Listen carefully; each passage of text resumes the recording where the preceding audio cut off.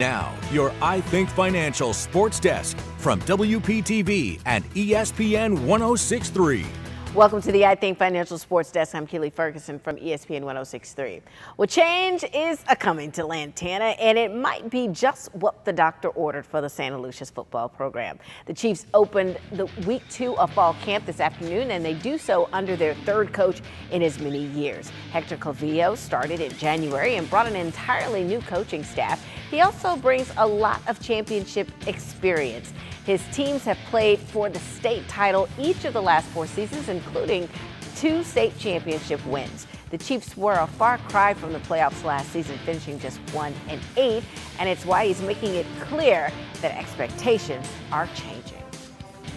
You know, that's why we were so active in the summer and in camps and different things like that because I felt like we just needed to to win at something, you know, and kind of get that monkey off their back and show them that they can play with anybody in the county. So we did that. You know, we had a great summer and and, and now we're just ready to roll when it counts.